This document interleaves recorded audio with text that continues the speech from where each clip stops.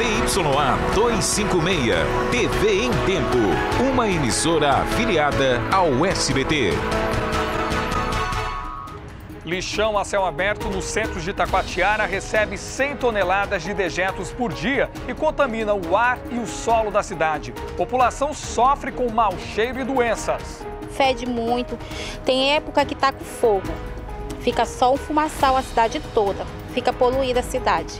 Incêndio destrói empresas de colchões na compensa. Porque a gente está na nossa casa, nem né? rapidinho acontece uma coisa dessa, ninguém está esperando, né? Um resumo da sétima rodada do campeonato amazonense. Manaus e Amazonas estão classificados para as semifinais. E o Carnaval do Manauense que começa hoje. Muita gente já pegou a estrada ou se prepara para festejar no Sambódromo ou nos blocos de rua de Manaus. A TV em Tempo transmite amanhã o Carnaval do Educandos ao vivo. Isso e muito mais a partir de agora no Jornal em Tempo.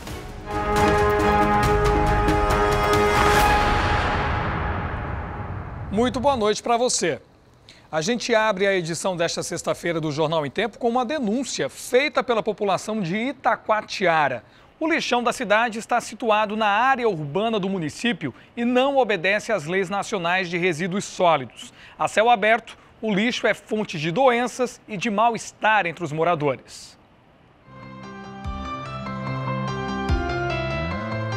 Estamos em Itacoatiara. Na cidade, a 270 quilômetros de Manaus, a população vive majoritariamente da pesca e da agricultura.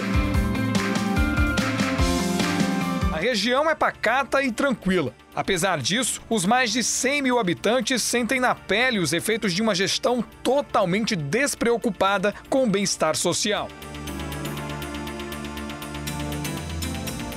O lixão de Itacoatiara fica dentro da cidade Bem ao lado estão cinco bairros residenciais. No terreno locado pela prefeitura, mais de 100 toneladas de lixo são despejadas todos os dias. Não há reciclagem. Os dejetos são despejados ao ar livre e contaminam o ar e o solo. A região é um paraíso para aves necrófagas e para os insetos.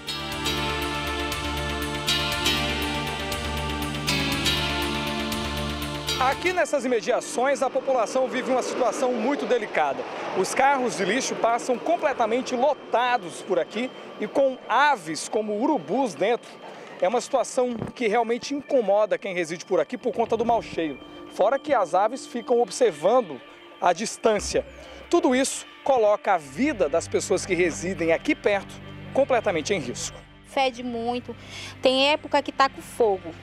Fica só um fumaçal a cidade toda. Fica poluída a cidade. Os urubus entram no lixão de carona sobre os caminhões impróprios para coleta de lixo. Há ainda denúncias de descarte ilegal de lixo hospitalar. Nossa equipe não foi autorizada a entrar no lixão. Os funcionários da empresa que presta o serviço de coleta à prefeitura trabalham sem equipamentos de proteção e reclamam dos constantes atrasos no pagamento. Existe risco de pegar uma doença? É muito arriscado mesmo, porque tem uma vez que eu entrei lá dentro, daí o urubu bateu aqui, eu peguei até um espanto, verdade. São agressivas, né? Pode até pegar no nosso rosto, arriscado mesmo. Surimã é dono de uma açougue que fica bem ao lado do lixão. Ele diz que já perdeu as contas dos prejuízos causados pelas moscas. O carro do lixo vem, aí vem trazendo tudo que não presta, vai jogando tudo aí no respeito, nada, nada, nada, nada, nada aí.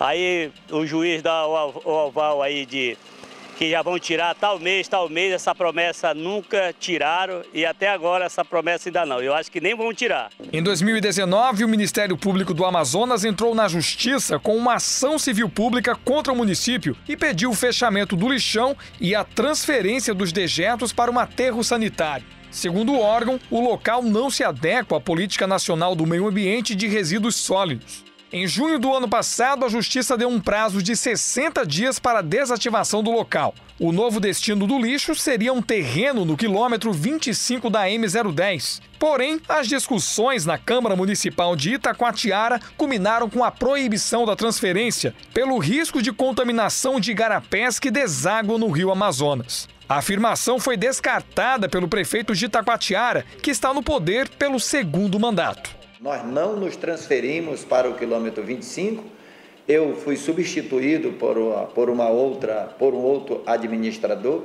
e no dia 2 de janeiro voltaram a jogar lixo lá, destruindo todo o processo de 75% de revitalização. O, o termo de ajustamento de conduta que nós tínhamos foi de águas abaixo e nós mantemos o lixão. A situação se agrava a cada dia que passa. A deposição de lixo nas áreas marginais da via de acesso ao lixão torna o problema ainda mais grave. O prefeito fez mais uma promessa. Até o final dessa nossa administração, nós haveremos de pôr fim a esse crime ambiental que iniciou-se em 1980, 1998. Portanto, 22 anos 22 anos. Urubus tomam conta do município, reflexos de um abandono que custa caro ao contribuinte e que desanima os vizinhos do lixão a céu aberto, que já convivem com o problema há mais de 30 anos. Poeira, poeira, poeira, lixo e o fedor. A gente tem criança, as crianças de vez em quando estão doentes, entendeu? Isso tudo incomoda aqui.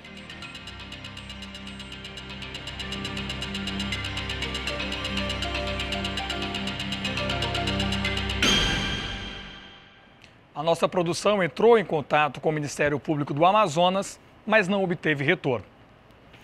E ontem foi um dia de muita aflição para os moradores do bairro da Compensa. Um incêndio de grandes proporções destruiu por completo uma empresa de colchões. 20 famílias tiveram que ser retiradas das casas às pressas. Por sorte, não houve vítimas.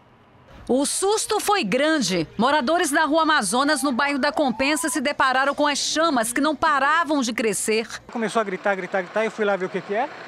Aí o fogo já estava se alastrando, o fogo já estava se alastrando. Este incêndio aconteceu na noite desta quinta-feira no bairro da Compense. Foi a partir dessa loja da fábrica de colchões que começou todo esse incêndio. Atingiu um pouco da igreja que fica ao lado, atingiu também um pouco da escola, mas olha, todo esse fogo, em sua grande proporção, destruiu as colunas da própria fábrica. A noite de quinta-feira foi de aflição para muitos moradores, alunos e até quem estava na igreja ao lado da fábrica. A Defesa Civil realizou nesta sexta-feira a vistoria e avaliação dos problemas causados pelo incêndio. Nós estamos com três engenheiros aqui justamente para fazer essa inspeção em loco né, e depois emitir um, um laudo como algumas casas que ficam ao lado e por trás da fábrica foram afetadas, foi necessário tirar as famílias do local. Cerca de 20 famílias. São famílias que são acompanhadas para ver se há uma necessidade de abrigamento ou ainda para junto à Defensoria Pública para que seja mediado. Uma delas foi a dessa moradora que tirava o sustento do ponto comercial que funcionava na residência. Porque a gente está na nossa casa, nem né, rapidinho acontece uma coisa, ninguém está esperando, né? O incêndio que também destruiu o depósito dessa igreja católica assustou 40 pessoas que estavam bem próximas do local ensaiando uma peça. A fumaça invadiu algumas salas dessa escola. Segundo engenheiros da Defesa Civil, foi preciso imobilizar a parede da fábrica para não cair dentro dela. Foi feito o cadastro de todas as pessoas retiradas. Em nota, a empresa de colchões Eurosono lamentou os transtornos causados pelo incêndio e informou que o Corpo de Bombeiros foi acionado rapidamente. A origem do fogo está sendo investigada pelas autoridades. E aconteceu hoje a solenidade de posse da primeira mulher a assumir a Delegacia Geral da Polícia Civil do Amazonas. O ato foi considerado um marco na gestão da segurança pública do Estado. A solenidade começou com o discurso do ex-delegado-geral Lázaro Ramos, que parabenizou Emília Ferraz, a primeira mulher a comandar a corporação na história. Emília. Emília ressaltou as prioridades da nova gestão e ainda afirmou que o principal desafio é atender a população com maior proximidade. É levar a segurança para cada indivíduo que está lá naquela casa mais distante, é a presença da polícia na rua, é a conversa com a comunidade. Esse é o, o, grande desafio da segurança pública. Para o secretário de Segurança, a posse de Emília é um marco na história da segurança pública do Amazonas. Um olhar mais diferenciado por ser uma mulher, certo? Isso aí vai refletir ainda mais em retorno para a nossa população, aumentando ainda mais a segurança pública do nosso Estado. Além da delegada-geral, foram empossados o delegado-geral adjunto Tarson Yuri, o diretor do Departamento de Polícia Metropolitana, Alessandro Albino, e do Departamento de Polícia do Interior, Bruno Fraga. E você vai ver a seguir: Polícia Civil desarticula quadrilhas e prende três envolvidos com crime nesta sexta-feira. Agora são 18 horas e 27 minutos. Voltamos daqui a pouco, depois do intervalo.